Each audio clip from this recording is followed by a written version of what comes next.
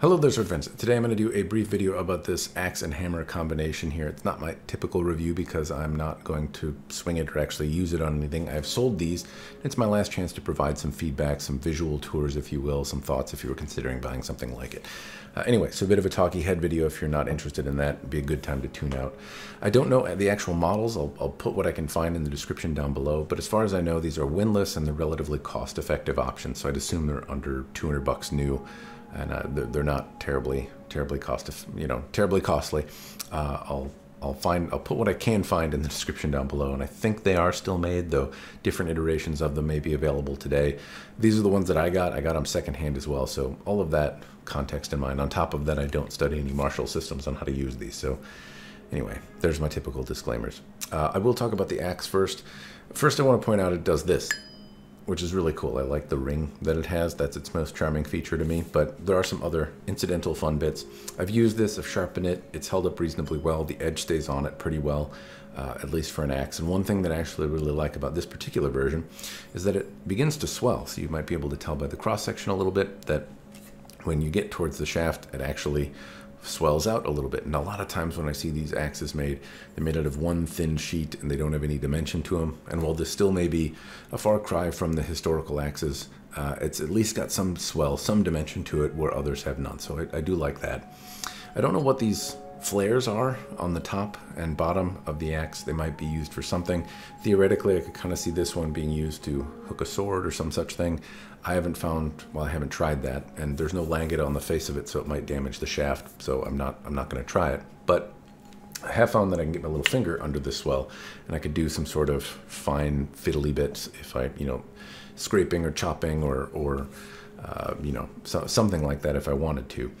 Uh, in any case, I don't know what these holes and, and, the like are on the axe are for. I don't know if there's a historical use for them, uh, but I digress. They are here.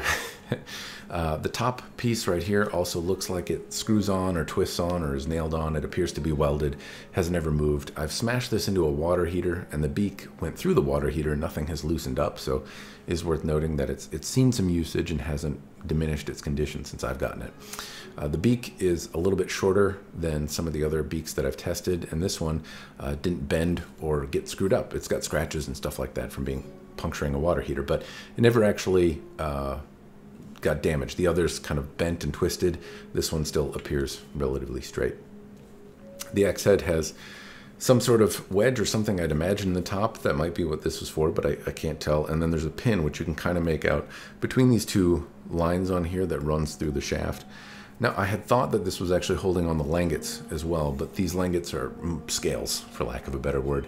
They don't actually attach, uh, something that I discovered actually recently. I can get a fingernail underneath them, pry them, and I can see that they don't run under the axe head, which is what I assumed they were doing uh, for a very long time. Anyway, these are just scales that are held on by these little brass screws that are on the, the scale side of things. So I imagine you could turn them into langets, you could weld it or something like that. Um, but as they are right now, they're not attached and they're more ornamental. Uh, still worth noticing uh, or noting that I did bash this into things. It's been a few years, but it did cut well. It was pretty devastating. It's a little on the, the tip heavy side, but as a, a knightly weapon, I suppose that's maybe par for the course. I don't have a whole lot of experience on what these should weigh, but I would imagine you might want a little bit of mass. The axe head was always fun to use, but I actually liked the, the crow's beak on here a little bit more. That was always very surprising on how deep you could uh, penetrate or bury itself into targets like wood and, and the like. The shaft, not sure what it's made out of, but it held up well and it appears like a cube, but it's actually a rectangle, so I, I can index it. Um, it doesn't have an ovoid shape, which I might prefer because when I'm using a blade, I'm a little bit more particular on edge alignment, though I don't know if you have to be with, with this. Uh, but it does index and it doesn't slip out of your hand. The grip, actually, the shaft is one thing I can note as a distinguishing factor between this and the hammer. So talk about the shaft on the hammer. This has these brass bits on here, which if I think of somebody trying to pull it away, these little brass things do give me something to latch onto. They make the grip feel a little bit more bulbous and dumb in my hand, but if I try to twist it, I can't do that with the hammer. I can do it with the axe. If I try to pull my hand away, uh, it's harder to do with the with the hammer than it is the axe. So they do have some effect on, on retention. They don't make me feel very connected to the weapon, but they, they certainly keep it in my hand stably if, if I'm worried about losing it. My fingers kind of latch onto them and it gives some, some additional purchase. Other distinguishing bits on the hammer, it is also a little bit of a rectangle so I can index it. And these langets actually appear to be functional. They're welded on and in the right light you can kind of make out some shimmer about how they're welded. Maybe it's a different material. They seem a different material anyway than the axe head and it's left a, a more porous structure around the head and on the surface of the langet. So for whatever that's worth. Uh, the axe head does appear to be welded together. I'm not sure about the whole construction. I haven't used this a whole lot. I bashed it into a few things, but not not a lot. It's held together though, and it certainly has been has been used. I probably whacked it in the same water heater, but I don't recall this having a whole lot of impact. I do see this shape a little bit more commonly. I think this is a German Warhammer. Could be mistaken. Anyway, um, it held together. I did bash it on dumb things, so it's not as though it's going to fall apart easily, but I don't know that I really tested it very effectively. Uh, and overall, it's, it's a handsome little thing, uh, and it's lighter and faster. Honestly, I feel like I can move this one around a lot easier than I could the axe. Uh, I don't know about hooking, grabbing the axe. Certainly this, this large hook area would likely be more effective for that, but uh, in terms of a more nimble percussive instrument, this, this certainly uh, feels the part.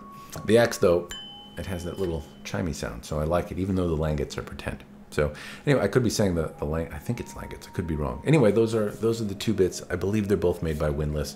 Um, I've had fun having them, but I don't do a lot of tests with axe. I don't axes. I don't play with them very often. I don't do much with hammers and stuff either. But I have had a couple of them in my collection, and I'm sorry to see these go, but they just kind of sit in the corner and don't do anything. So I'm I'm hoping the next owner gets more happiness and joy out of them and use out of them than I have.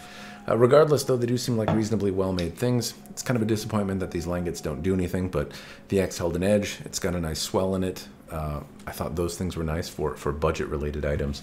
They're not grotesquely heavy, though they might be a bit on the heavy side. This feels nimble enough, and I like that, in contrast, the, the langets are real. Uh, this does also seem to be a shape that's representative of things that I've seen in museums and collections. The proportions for windlass stuff tend to, tend to be off at times, but um, it, it at least kind of looks the part. I'm going to assume that it's about the same looking the part versus the actual part as their swords are. I could be off on that though. Anyway, it uh, it's a handsome piece for what that's worth. Uh, and those those are my thoughts. I'm going to stop here. Hopefully it's been interesting. If you have any questions, I won't have the items anymore, so I can't answer them, but I will try with the photos and bits that I have. Throw them in the commentary down below. Uh, incidentally, if you're interested in seeing bits of my collection in videos like this before I part ways with them, uh, is this better than nothing? Is it not? Let me know if it's if these types of things are worth doing. Anyway, uh, that's all I got. Cheers, and thanks for watching.